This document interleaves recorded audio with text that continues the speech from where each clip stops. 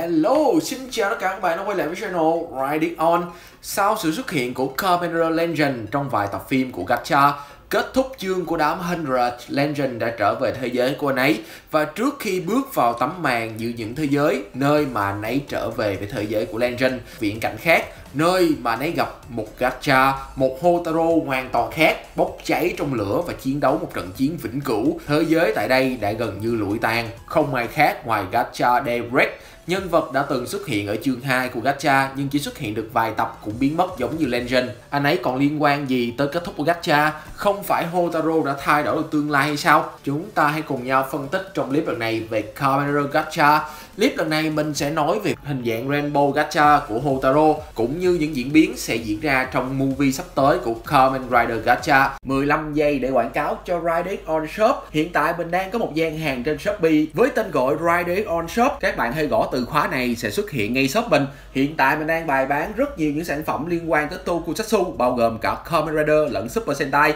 Các bạn hãy follow cũng như nhập những mã giảm giá để có được mức giá ưu đãi nhất. Giá cả vô cùng cạnh tranh. Link mình sẽ để ở phần bình luận cũng như phần mô tả video nhé. Đầu tiên chúng ta sẽ cùng phân tích về hình dạng mới của Gacha với tên gọi Rainbow. Hình dạng này đã được leak từ khá sớm. Trong dạo gần đây, có vẻ như Toei cũng đã cố tình tung ra những thông tin này, hoặc do leaker từ nước láng giềng đã tung ra những hình ảnh. Chúng ta cũng không có quá nhiều thay đổi với Rainbow Gacha. Một số hình ảnh chi tiết hơn về tạo hình của form này. Trước tiên, mình sẽ nói về tạo hình của form, đúng với tên gọi màu xanh đại dương của Gacha, với những biểu tượng mũi tên trên phần gương mặt với phần vai được nhô ra như hai mũi thuyền kèm với những chi tiết trên chân của anh ấy, thể hiện màu sắc cầu vồng biểu tượng ngực của Gacha cũng từ một lò luyện kim trở thành một mặt trời rực cháy, phần nào liên quan trực tiếp tới cầu vồng khi mặt trời kèm với màu xanh dương là cơn mưa của Gacha sẽ tạo nên ánh sáng của hy vọng. Phần driver của Gacha vẫn như những phần nâng cấp khác nó cũng được thay thế bằng hình dạng của một con rồng. Nó có thể là quả trứng được nở ra từ chính gacha. Thứ sức mạnh mà vua bóng tối khẳng định là của hắn và hắn muốn lấy lại. Tất nhiên,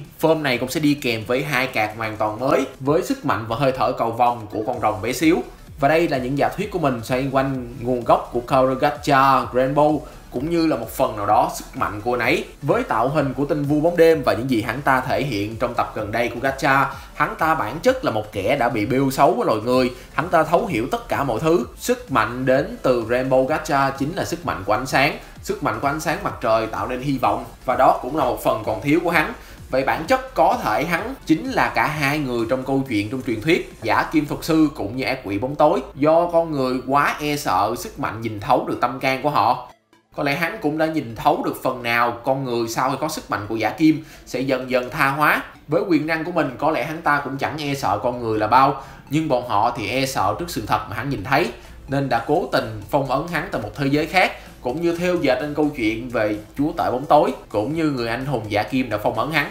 Về tạo hình của Rainbow Gacha với lỗi mặt trời được trái bên trong phần lỗi khác biệt hoàn toàn so với Direct khi ngọn lửa của anh đã lan tỏa lên khắp cơ thể. Có lẽ đây là lúc Gacha thật sự tinh luyện được sức mạnh thuần túy của mình nên đã đạt được cảnh giới cao hơn. Mình cũng không có quá nhiều cơ sở để dự đoán về sức mạnh của Rambo Gacha, Nhưng với cả hai tấm cạc đôi thì tất nhiên khả năng của anh ấy sẽ là mang tới hạnh phúc cũng như thao túng sức mạnh từ bảy sắc cầu vong Trong những tập gần đây, Gacha luôn nói về hạnh phúc của tất cả mọi người. Tất nhiên, điều khiển những vần sáng của cầu vong cũng là một khả năng, và điều anh ấy trở thành final form có lẽ là để cứu giúp những Chemicat đang bị mất đi sức mạnh do không còn cách nào cứu họ.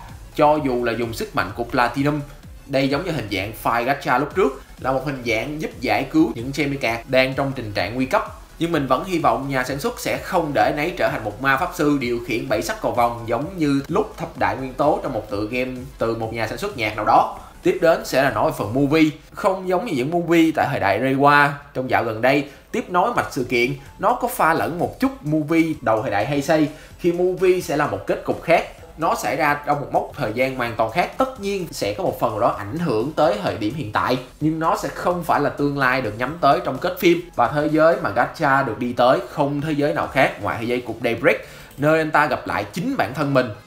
Gacha Daybreak hoàn toàn giống với gacha, nhưng anh ấy đã chuyển hóa ngọn lửa từ bên trong phần lỗi, chuyển hóa lên khắp cơ thể. Enix sẽ ban cho anh ấy chiếc áo choàng, thứ sức mạnh tạo ra những chemicat hoàn toàn mới đây cũng có thể là khả năng do Hotaro tại thời điểm này tạo ra. Cách anh ấy luyện hóa những Semica còn lại trở thành hình dạng phai, chống lại sức mạnh từ tên vua bóng đêm.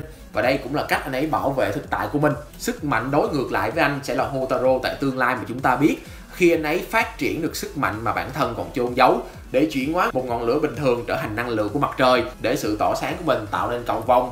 Đó là màu sắc đặc trưng mà Hotaro phát sáng. Nó không phải là sắc vàng hay bạch kim giống như giả kim, mà là màu sắc của riêng anh. Nó có lẽ là phần nào pha trộn với sự xuất hiện của Cabro Legend khi anh ấy muốn nhìn thấy sự phát sáng của Hotaro. Và đây chính là con đường mà Hotaro sẽ chọn, một tương lai khác khác hoàn toàn so với Direct chứng kiến. Với tình trạng của Direct có thể là thế giới của anh ta vẫn chẳng thay đổi gì, giống như những bộ phim trước đây.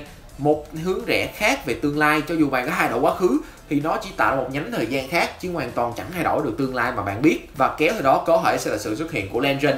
Và nếu Legend ở đó, thì Hotaro tại thời điểm trong quá khứ, trong một tương lai mà chúng ta biết sẽ đến để trợ giúp Legend.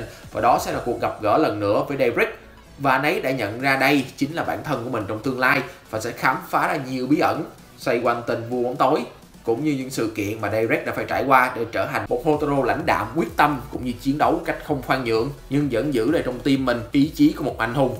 Cũng như phần nào Direct sẽ nhìn thấy được Hotaro hiện tại, không phải là Ignite, mà là Rainbow Gacha, thứ sức mạnh mà anh ta chưa bao giờ nhìn thấy, ánh sáng của cầu vòng chứ không phải là ngọn lửa của địa ngục. Và đó là toàn bộ nhận định của mình về phần cuối của Counter Gacha, cũng như movie sắp tới mình là Ryan On. Nếu các bạn thích những content phân tích như thế này, hãy comment bên dưới giúp mình nhé. Mình là Riding con thanks for watching. Bye.